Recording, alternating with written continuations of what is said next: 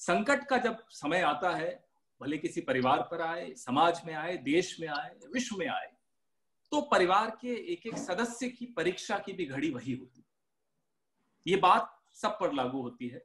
उस वक्त दोस्त की भी परीक्षा हो जाती है, दुश्मन की भी परीक्षा हो जाती है, तमाम लोगों की परीक्षा हो जाती है। आज वही एक घड़ी है, संकट की घड़ी है, पूरे विश्व में सब पर एक परीक्षा का दौर जिससे हम गुजर रहे हैं। ऐसे में जब डोनाल्ड ट्रंप आकर एक धमकी भरे लहजे में धमकी की बात करके भारत से हाइड्रोक्सी क्लोरोक्वीन की बात रखें, की मांग रखें तो उस परीक्षा में वो पास होते हैं या फेल, उसका निर्णय मैं आप पर छोड़ता हूँ।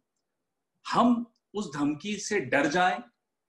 तुरंत एक्सपोर्ट पर जो हमने बैन लगाया था एचसीक्यू पर हाइड्रोक्सी क्लोरोक्वीन पर, वो हम हटा देते हैं।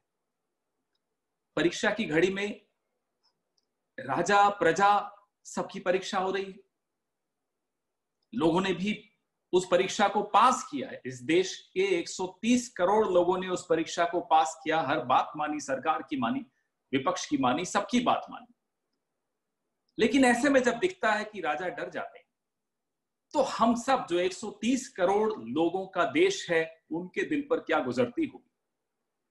आज पूरे देश में आप किसी भी दुकान पर जाकर हाइड्रोक्सी क्लोरोक्वीन की मांग रखिए, आपको वो नहीं मिल रही मलेरिया की एक अच्छी दवाई मानी जाती है रिमाटिड आर्थराइटिस की अच्छी दवाई मानी जाती है, और अब कोविड 19 से लड़ने के लिए दवाई बहुत अच्छी और कारगर मानी जा रही है। आईसीएमआर ने भी इस बारे में ये बात रखी है कि ये एक प्रिवेंटिव ड्रग है, खास तौर पे जो हमारे हेल्थ प्रोफेशनल्स हैं, जो पैरामेडिकल स्टाफ है डॉक्टर्स हैं, उन सबको पहले ही लेनी चाहिए। हमने देखा कि कैसे कई विश्व दे, जो देश है विश्व के उन्होंने कोशिश की हमसे ये दवाई मांगने की। ब्राज़ील के जो प्रधानमंत्री हैं बोल्सनारो ने उन्हें एक बड़ा अच्छा पत्र लिखकर रामायण को उद्धृत कर कर हमसे निवेदन किया कि दवाई ब्राज़ील को दे दे।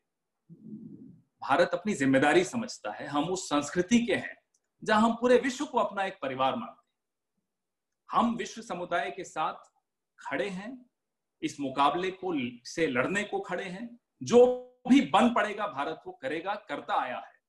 प्यार से कुछ मांग लिया जाए तो हमारी तो संस्कृति ऐसी कि हम सब कुछ देने को तैयार हो जाते लेकिन धमका कर